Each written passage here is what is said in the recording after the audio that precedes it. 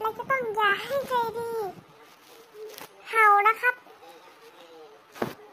เราจะลองดูกัน เดี๋ยวเราจะไปดูใจดีกันเลยหนึ่งสองสามคลิปนี้ไม่ใช่อย่างที่ท่านผู้ชมคิดนะ ผมเตือนแล้วนะใจดี อย่าเห่าขอ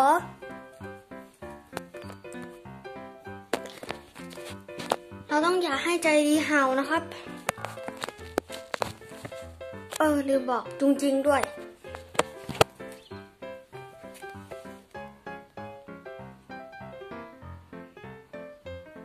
อืมจุงจริงหลับ จริงๆ ก็รายการนี้ก็เป็นรายการแรกก็จะไม่ค่อยจะมีอะไรมากนะครับ ก็รายการก็ประมาณนี้แล้วกันนะครับ ก็สำหรับคลิปนี้กดติดตามด้วยนะครับ กดไลค์ด้วยนะครับอ้าวก็เจอกันวันหน้านะครับ สวัสดีครับ